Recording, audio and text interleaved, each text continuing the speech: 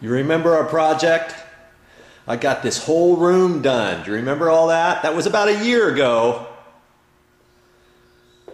Floated out all the walls, made them nice and smooth and painted it. Installed that wall hung TV up there behind that. Got the baseboard installed, nicely painted and caulked. The hardwood floor installed.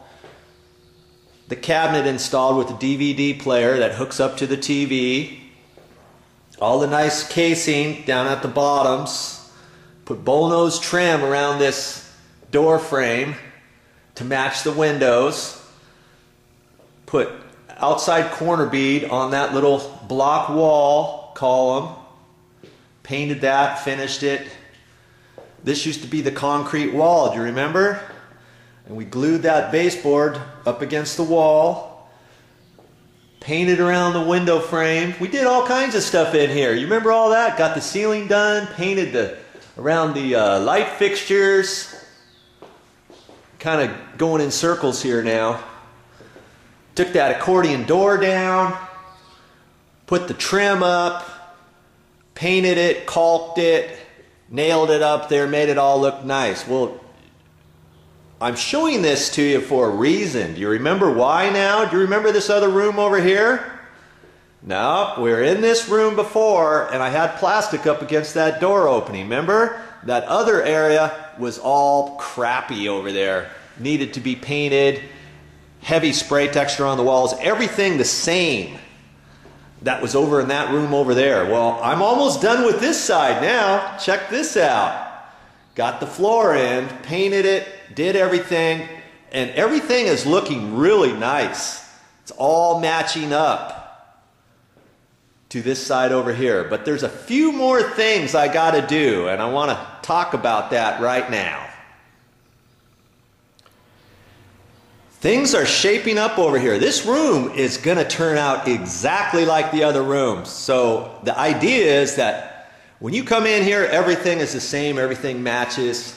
Got everything painted up against there, the ceiling, the walls, all that. Well, I still got a few things to do, and here's here's one of the things I still have to do. See that? I just painted all my baseboard, and uh, it turned out really nice. It's always good to paint your baseboard before you install it. Then after I nail it up there, I'll caulk it and uh, touch up the nail holes and, and, and do some touch-up painting on it.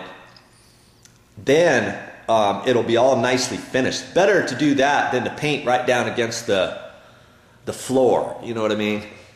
And this time, instead of cutting it with my little hand miter box plastic one, I'm going to show you how to use this guy right here. Compound electric miter saw. We're going to use that to cut this base. And then I'm going to install it. Um, I'll put that trim down at the bottom of it. Got some other trim here that goes over there by the sliding glass doors. And usually when I get when I get done with the job, I like to make it all look nice and finished. And this right here was a brown light switch and it had a brown cover plate on it. Well, I'm not going to leave that because that's going to look hokey.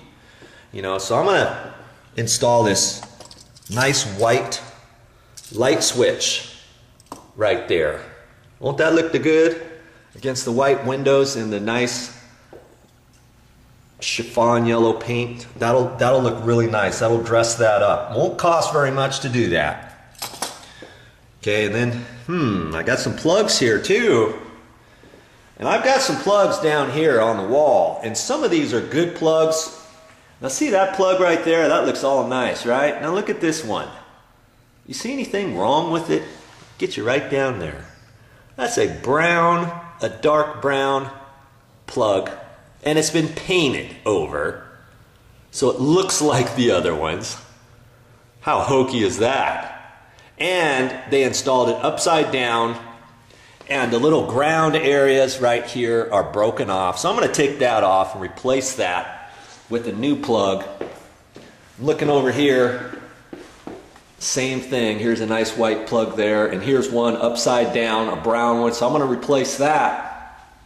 And remember, there was a plug right down there that I patched.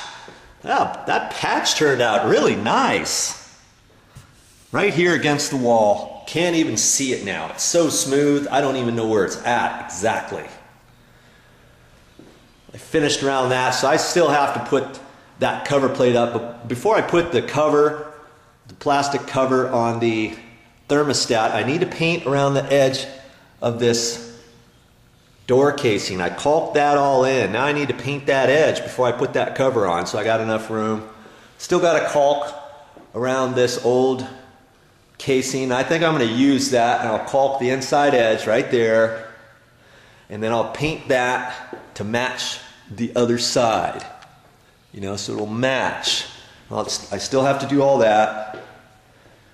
And, uh, you know, so there's still a few, few more things I've got to do. But I need to do all this so that it matches up perfectly. I went ahead and I painted around this window up here. And I even did that over this wood floor. I took my craft paper, see all those white lines? Well, that's what I, I, I painted my baseboard on.